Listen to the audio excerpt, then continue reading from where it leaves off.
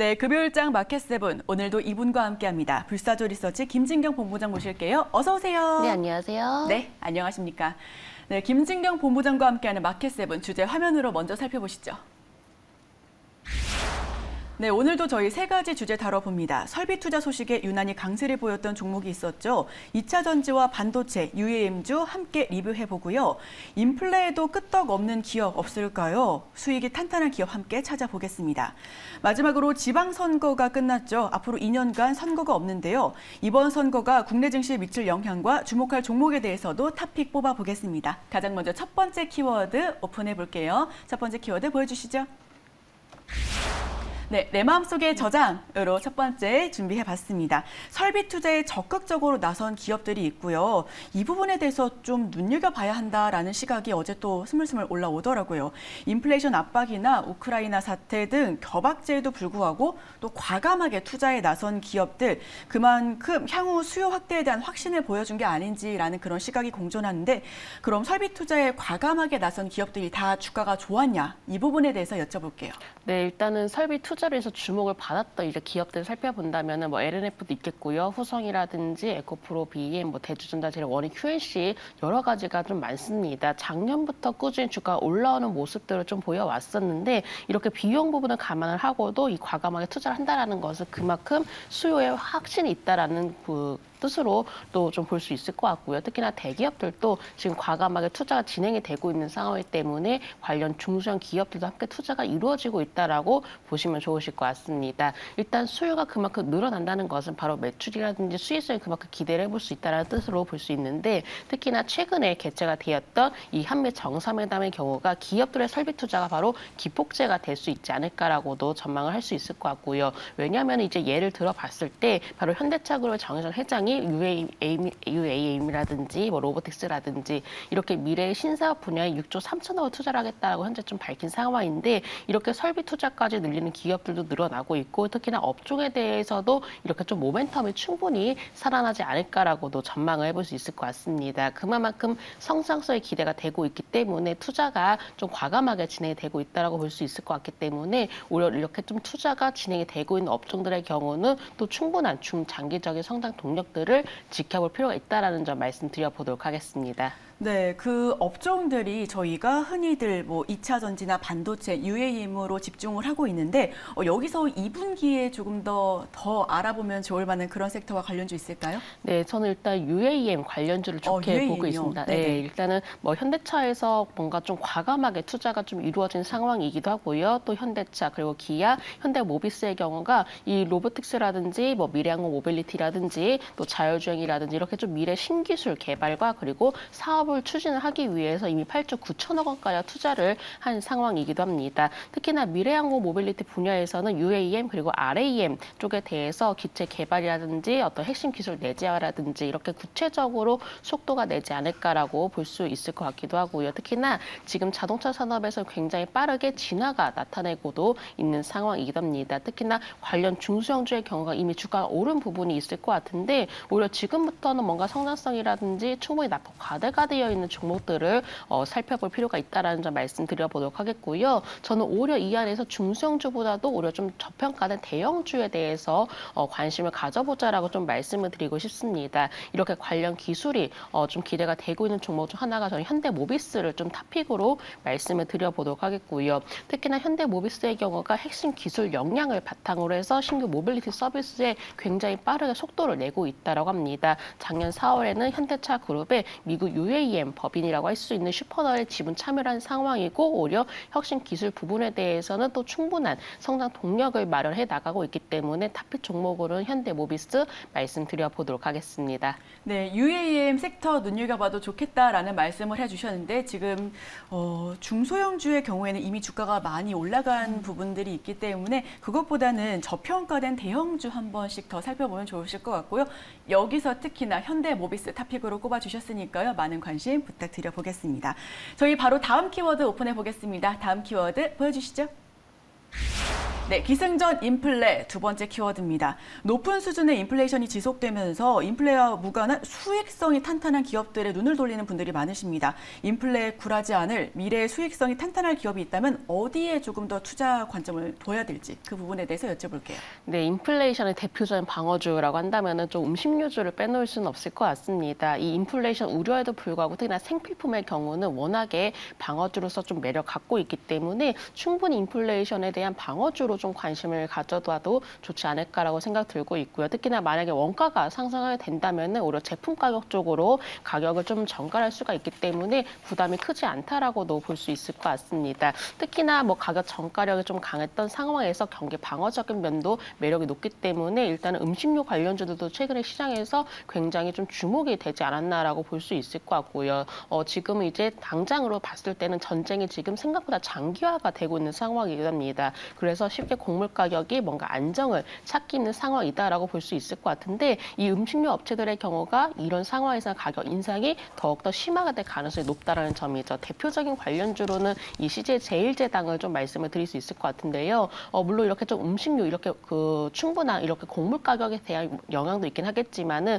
특히나 요즘에는 간편식에 대한 수요 자체가 증가세로 보여지고 있어서 햇반이라든지 이렇게 좀 관련된 매출 증가세가 기대가 되고 있는 상황이기도 하고요. 또 해외 시장도 적극적으로 진출해 나가고 있는 상황인데 이 해외에서는 국내 식품에 대한 인기는 굉장히 여전히 어, 끌고 있다라고 합니다. 이렇게 좀 제품에 대해서도 라인업을 확대해 나가고 있고 이 인플레이션에 대한 부분이 오히려 실적에도 중장기적 영향을 미칠 가능성이 높기 때문에 관련 업종 내에서는 음식료죠. 그리고 관련주 내에서는 CJ 제일자당을 한번 지금 대장주로 움직여지고 있기 때문에 이런 부분들에 대해서도 주가 움직임도 살펴보실 필요가 있을 것 같습니다.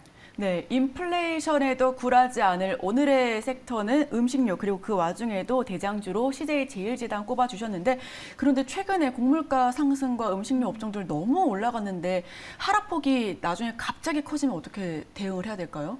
어, 지금 당장으로 봤을 때 오히려 좀 하락폭을 걱정한다기보다도 이렇게 좀 인플레이션이라든지 또 충분한 원자재 가격에 대해서는 어느 정도는 좀 감안을 하실 필요가 있으실 것 같습니다. 지금 당장 이렇게 원자재 가격이 좀 폭등을 하고 있는 상황이잖아요. 근데 이런 부분들이 쉽게 뭐 좀 줄어들진 않을 것으로 보고 있습니다. 네. 그래서 이런 부분을 감안하려면은 충분히 2분기, 3분기에도 영향이 미칠 가능성이 높기 때문에 오히려 하락폭을 걱정하는 것보다도 지금 당장 상황으로 봤을 때 여러 가지 주변 환경들 영향을 받고 있다라는 점을 우리가 충분히 좀 인지를 해볼 필요가 있다라는 점 말씀드리도록 하겠습니다. 네, 좋습니다. CJ 제일제당 우리 시청자 여러분들께서도 함께 지켜봐 보시면 좋을 것 같고요. 그럼 2분기 이익률 개선 종목을 미리 찾아서 선취매하는 방법도 있을 것 같은데 그런 전략은 또 어떻게 보시는지 그럼 또 그 부분에 대해서 어떤 종목도 눈여겨 보시는지 여쭤볼게요. 네, 저는 지금은 충분히 실적 개선주에는 관심을 가질 필요가 있다라고 보고 있습니다. 왜냐하면은 어, 지금 여전히도 좀 증시 변동성이 심한 상황인데요. 특히나 이렇게 좀 변동성이 심화가 되고 있는 상황에서는 일단은 테마주적인 성격을 가진 종목들이 굉장히 많이 움직여주는 모습을 보였었고요. 그러면서 실적 기대주의 경우는 아직까지는 움직여지지 않은 상황이기도 합니다. 오히려 이제부터는 낙폭 과대, 뭐 실적 개, 그 개선주에도 충분한 관심이 필요하다라고 좀 말씀을 드려보도록 하겠고요. 지금 당장으로서는 단기 트레이딩 관점이 아니라면 오히려 실적 개선 종목을 미리 찾아볼 필요가 있다라고 보고 있기 때문에 이렇게 실적 기대주에 대해서는 미리부터 관심 있게 살펴보자라는 점 말씀드리도록 하겠습니다. 네, 실적 기대주 미리부터 살펴보자라는 말씀해 보셨고요. 우리가 앞으로 계속해서 재무나 그런 부분에 더 눈여겨봐야 할 그런 포인트가 아닐까 싶습니다. 저희 마지막 키워드 열어보겠습니다. 마지막 키워드 보여주시죠. 네, 정책주 순환매로 마지막 키워드 준비해 봤는데요. 이번 6월 1일 지방선거에 국민의힘이 압승을 했습니다.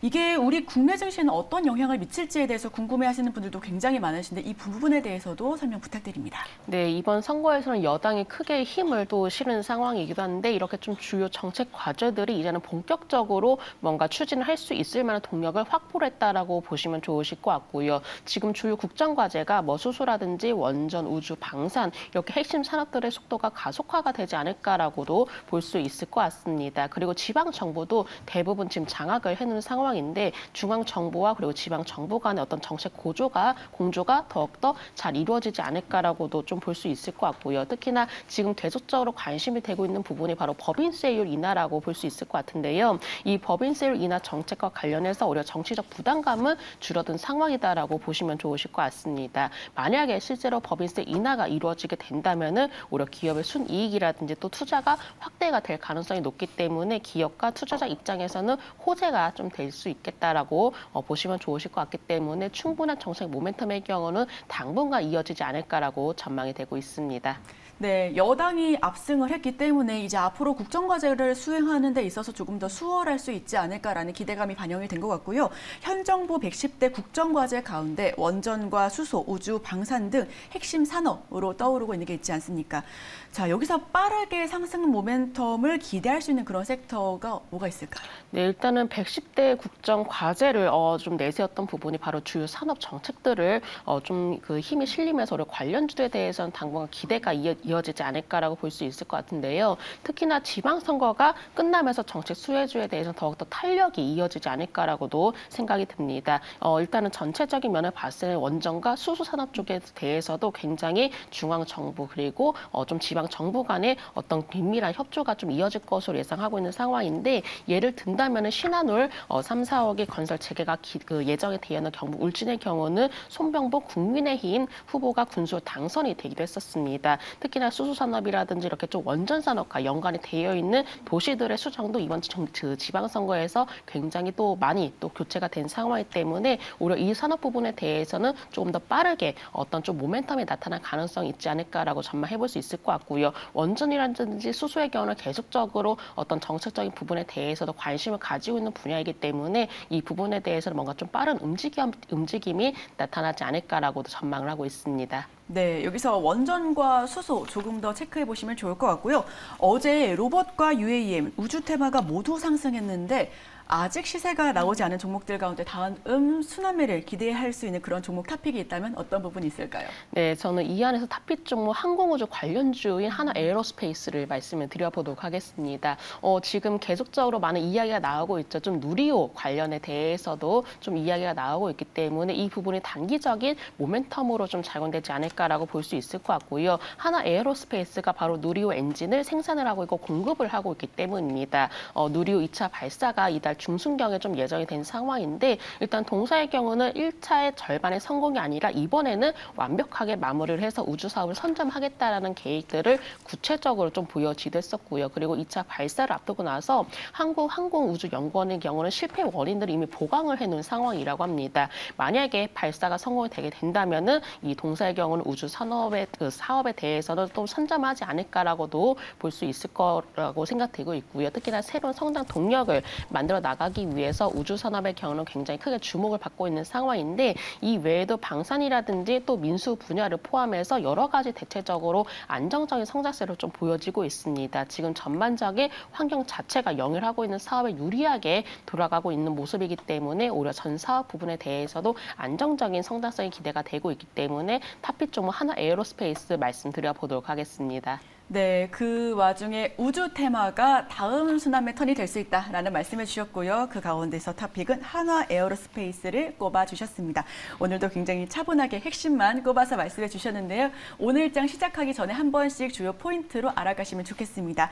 지금까지 금요일장 마켓 세븐 불사조 리서치 김진경 본부장과 함께했습니다. 오늘 말씀 고맙습니다. 네, 감사합니다.